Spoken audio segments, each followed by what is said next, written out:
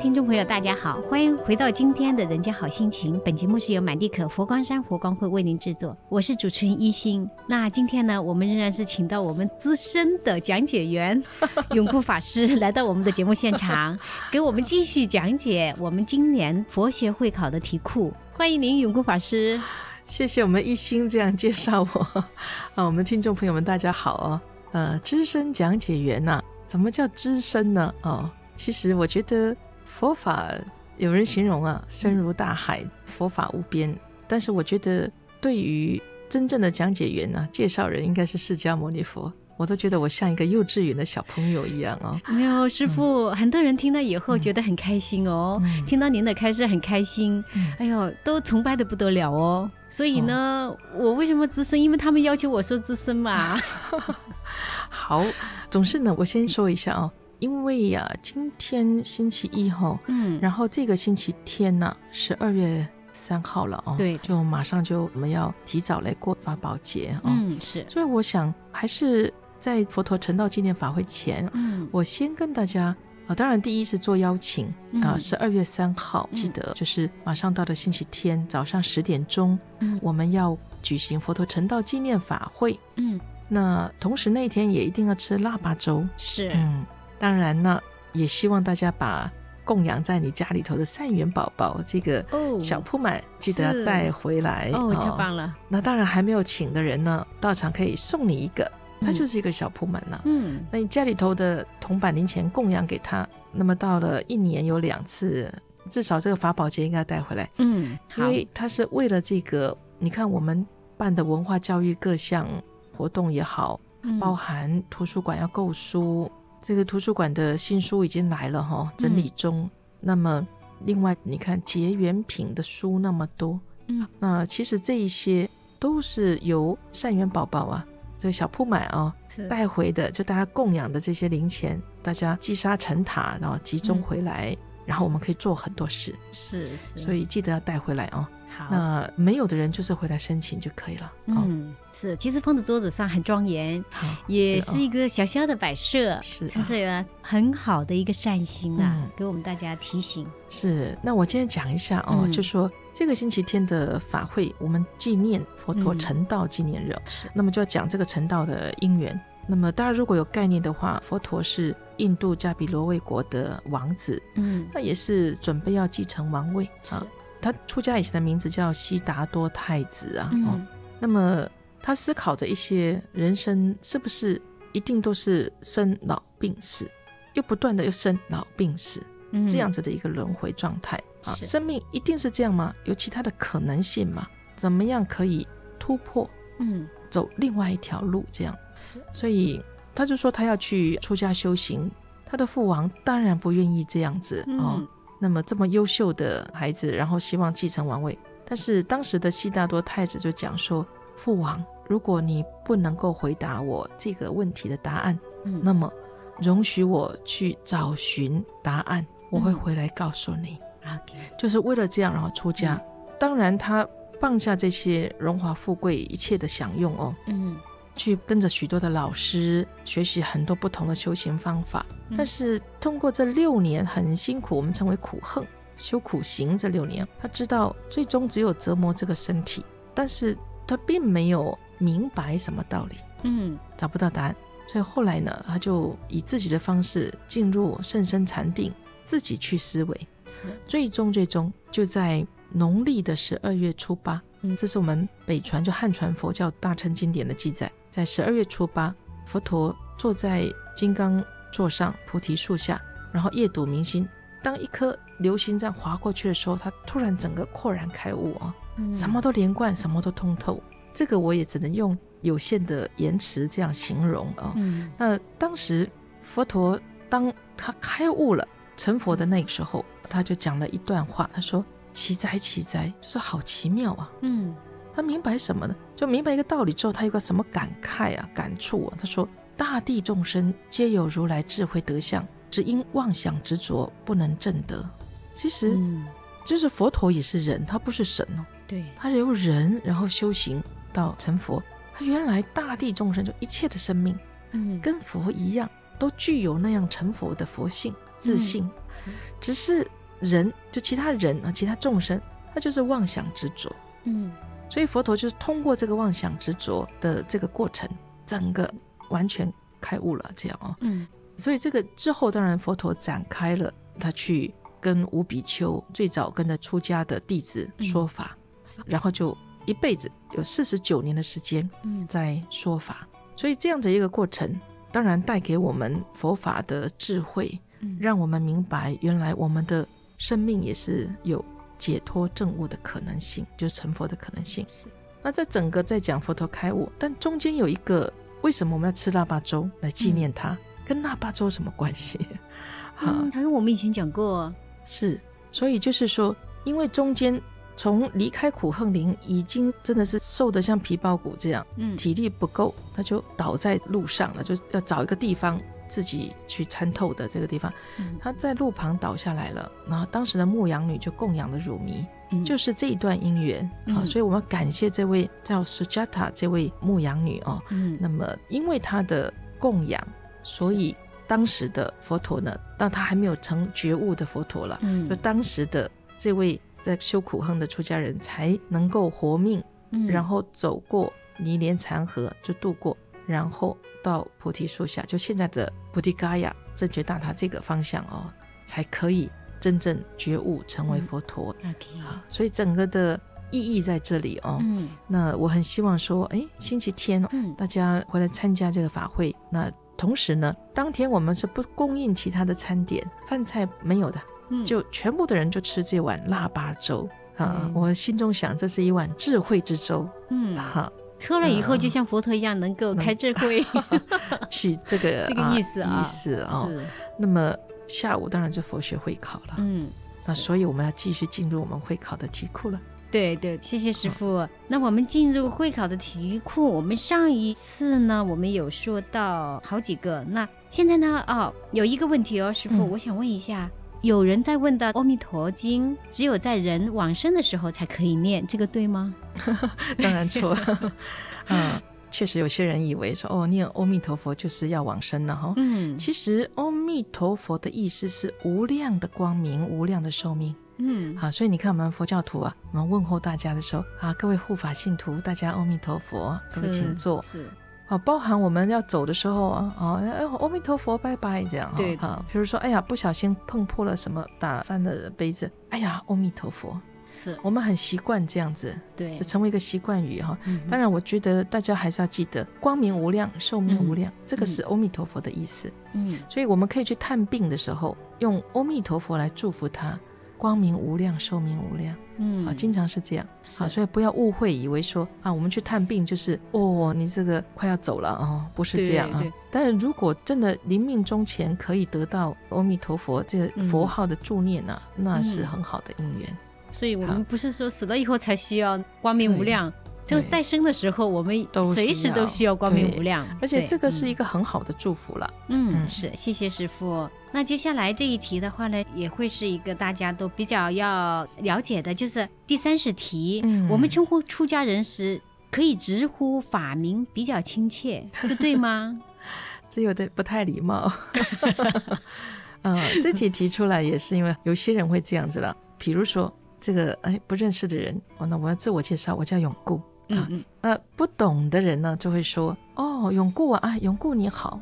对，那其实这变成直呼其名了。嗯，你就是一般的人，比如啊一心啊一心小姐，啊外面的人会称呼你啊这位小姐或者这位女士这样哦，就好像某某先生，要个称呼嘛哦。对对。那对出家人称呼你就要加上法师某某法师，或者你很熟悉了。好像自己家里头的长辈了啊，某某师傅，这两个是最通称的。对，你要加上去这个称呼，嗯，是一种尊重，就不好直呼其名这样子。对，这个很基本哦。OK，就是是跟我们平时生活中间还是有点差别，就是对出家人我们要特别的要有一个尊敬啊。嗯，OK，好，那接下来的话呢，这个问题有点敏感啊。嗯，妇女。生产后或月事来潮时，身体不净，不能去寺院烧香拜佛。嗯，这个对吗？我觉得哈，能不能去寺院，这是另外一个层面的问题。嗯，首先要说，妇女生产或者是说每个月月事来潮，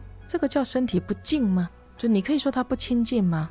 嗯不能这样说。嗯妇女生产这是很伟大的事情，嗯她要多么辛苦的去孕育、去诞生一个生命，是啊，这个是自然的一对个，也是很伟大的，包含每个月生理期，这个都是自然现象。嗯是那么，这是我们人可以繁衍下一代的一个自然的状态，嗯而且是这个使命要交给很能够吃苦耐劳的女性去完成它，嗯才够是细心去保护一个生命啊。嗯哦所以应该你不能讲它不亲近。是我觉得第一个，嗯你不要说她学佛啦，能不能到寺院，先不说。嗯我现在说，第一要肯定女性，这是很伟大的，不能讲哦，她现在这样子，她不亲近，这个是第一个错误。嗯那第二个错误呢，就是说啊，因为她这样子哦，这个每个月生理期哦不能去。为什么我们提出这个问题呢？因为确实有时候会遇到有人问啊，说，哎呀，我很想去怎么办？不过我因为碰到什么，我现在不方便去。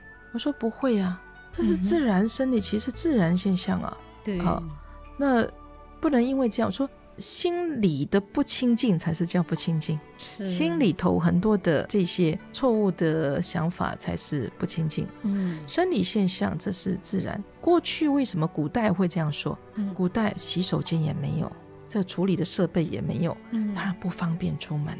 对但现代这些是很方便嘛，嗯不构成任何的因素，对所以跟过去不一样。所以现在来讲，嗯我想这个题目彻头彻尾这是两大错误，就要把它提出来。好谢谢师傅，所以我的意思就不要挂碍。对，是好的，谢谢师傅。那我们今天的上半段时间呢，就到这儿了，很快又过了哦。我们好像讲话速度都加快了。对，因为马上这个星期天要考试，我是很希望多带一点观念哦。对对，是的，是的。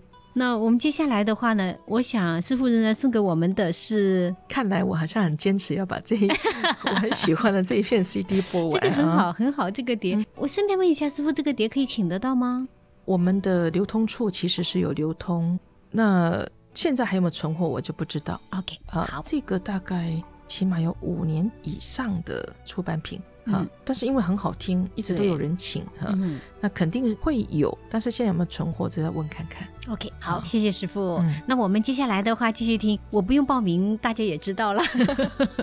游来游去哈，我对，们继续游来游去去哦。那这首歌呢，是一首台语的歌曲。嗯这首歌我曾经在好像是台湾有一次八八风灾吧，嗯哦，就是说有一些水患啊等等嗯哦，那很辛苦的时候。那我们到处忙着在救灾的时候，那当时呢，我有做这个电台弘法的节目，就选了这首歌，叫《石头顶的红花》，，OK，用福建话就闽南话去讲呢，叫“九头顶的安徽”。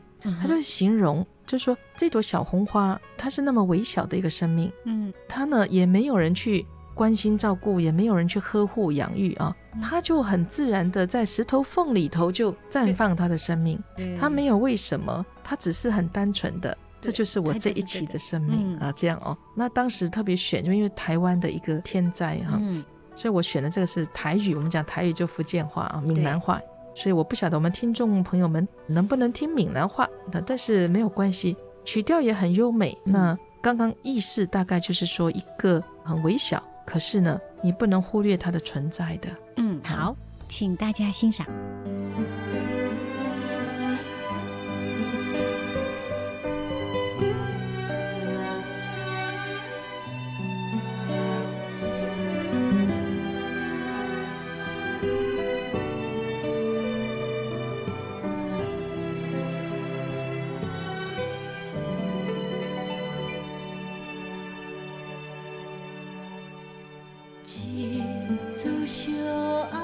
红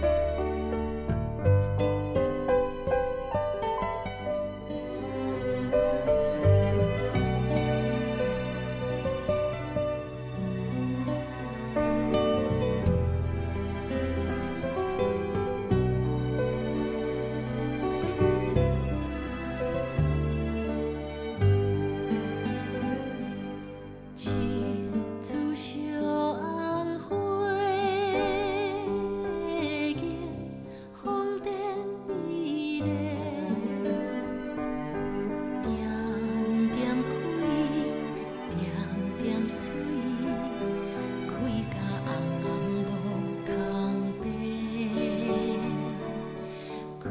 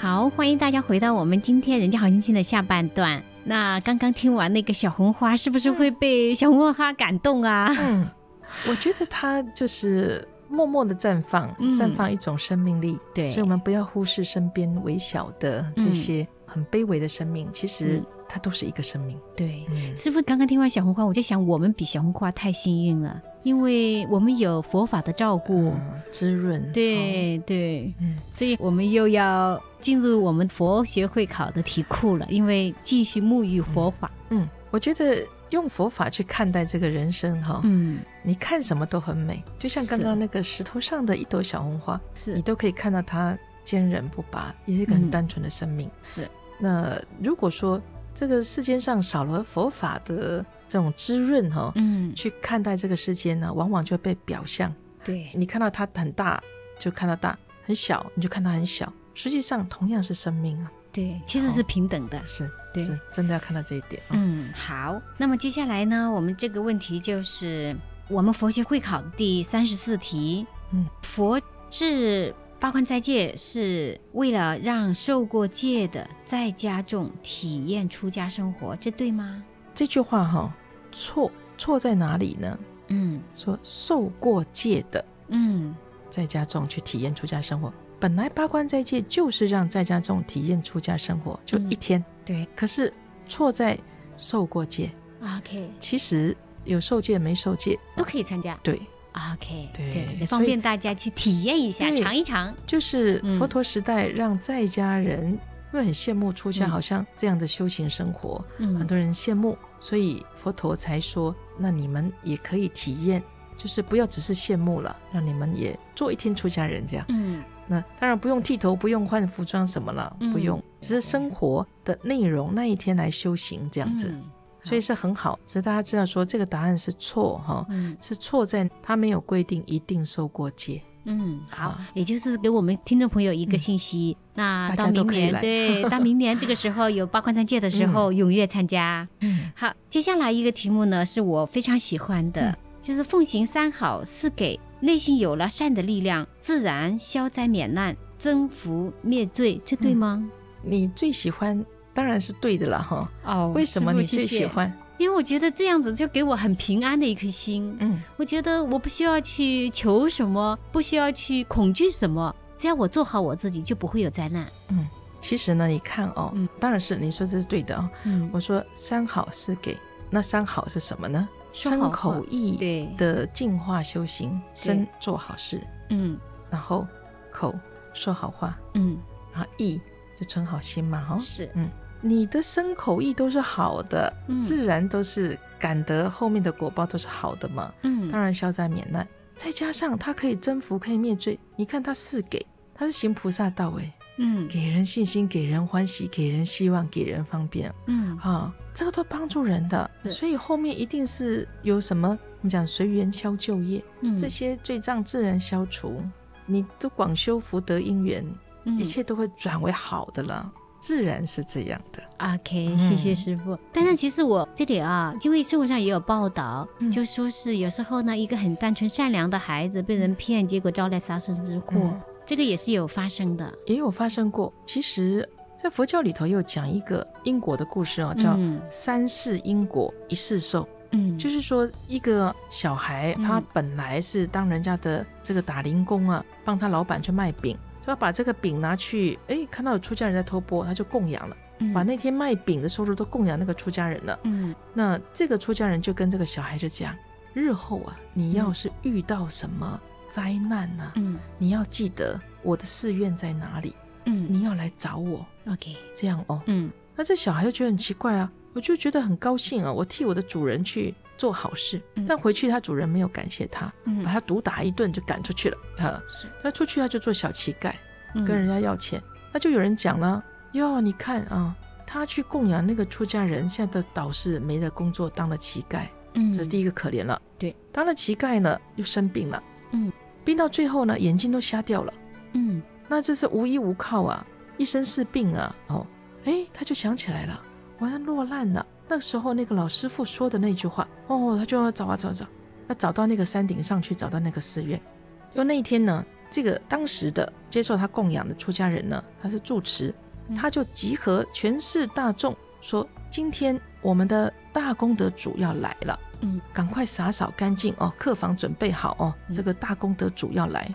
结果就等了一天，到黄昏的时候啊，没有什么大功德主来，导致这个小乞丐摸着摸着啊，这样就来了啊。嗯，那这个看门的人呢，就说：“哎，小乞丐，你赶快走开一点，等一下我们大功德主要来啊。嗯那他就说：“我要来找一个师傅，这样啊。”嗯，那当然就回报给他住持，这住持就说：“他就是我们的大功德主，赶快请进来啊。嗯然后就告诉他，你不要担心，你安心就休息这样。就晚上呢，他住下来喽。他晚上呢，哎呀，他想要上个当然以前叫做茅房啊，就是洗手间呐、是，这古代房子里冲水马桶的没有嘛？哦他出去那个茅房，结果因为他是瞎子嘛，嗯然后就不小心掉到粪坑里淹死了。嗯，好、那很多人就说，你看他行善，反而你看先是当乞丐，再来就瞎了眼，再来就被粪坑淹死了啊。嗯这个好心没好报，真的这样子布施供养有什么功德啊？都是招来厄运。其实呢，后来这位出家人就讲，他说，哎，这个还是有修行，有一定我们讲说神通的一个出家人嗯。啊、他就说这个乞丐儿啊，他本来的业报啊，三世就他来生一世都是当乞丐，在第二世一世都是残缺的，嗯，六根不全的啊、是，都是疾病，然后在之后呢，他是要这样子被闷死的。说他三世的因果，就是因为他这一世这样行善，所以三世因果一世受，全部嗯一次头还清，嗯再来他的福报就大了，这样哦。嗯，所以就有这么样的一个因果的故事了哦。嗯那么，所以我们在看这些，我就讲说，真的，我们凡夫肉眼看不到这些前后因缘，嗯但是要对因果的观念呢，呃嗯要深信不疑的。是。OK，好，非常感谢师傅我知道我们一心这么好的很故事，很急着想多问几题对，啊。我就想给大家有多一些的题来解答。嗯，好。